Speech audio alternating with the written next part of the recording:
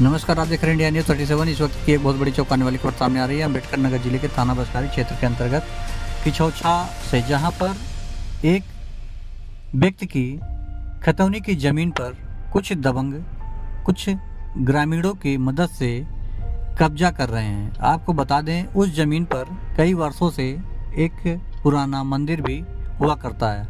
वह मंदिर का ढांचा अभी टूट गया है, जिसको लेकर कुछ ग्रामीण और कुछ दबंग मंदिर को मुद्दा बनाकर ज़मीन पर कब्जा करना चाहते हैं। पीड़ित पक्ष इधर उधर भटक रहा है जिससे जिसको न्याय नहीं मिल पा रहा है। पीड़ित ने डीएम से गुहार लगाया है कि जल्द से जल्द दोषियों के ऊपर कार्रवाई कर ज़मीन को मुक्त कराया जाए। सर हमारा मामला है।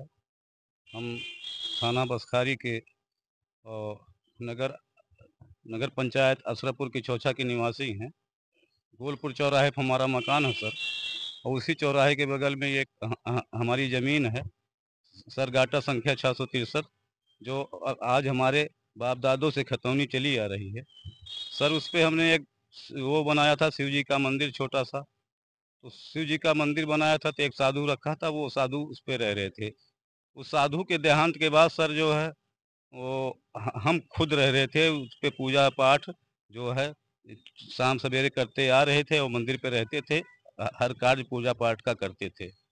और पता चला गाँव के कुछ दबंगों द्वारा जो है, मेरे ज़मीन पे ज़बरदस्ती मंदिर पे जो है कब्जा करके उसको हमसे छीनना चाहते हैं सरकार तो इसीलिए हम सर यहाँ जो है, डीएम साहब के पास आए थे और डीएम साहब के यहाँ अप्लीकेशन दिए डीएफ साहब ने कहा हमसे कि ठीक है अगर कुछ लोग आपकी ज़मीन ज़बरदस्ती कब्जा करना चाहते हैं तो लोगों के खिलाफ एफ़ होगा और आपकी खतौनी आपको वापस मिलेगी। इसके लिए आप लोग निश्चिंत रहिए। हाँ। जी हम दोनों लोग भाई हैं। ये, ये हमारे बड़े भाई हैं राम प्रताप हम छोटे भाई हैं राम प्रकाश। हम चाह रहे हैं सर कि जो दोषी हैं उनके खिलाफ कार्रवाई होनी चाहिए।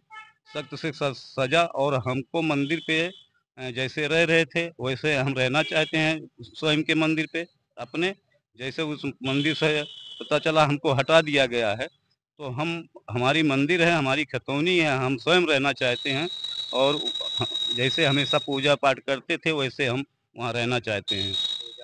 क्योंकि हमारी खतौनी है, सर।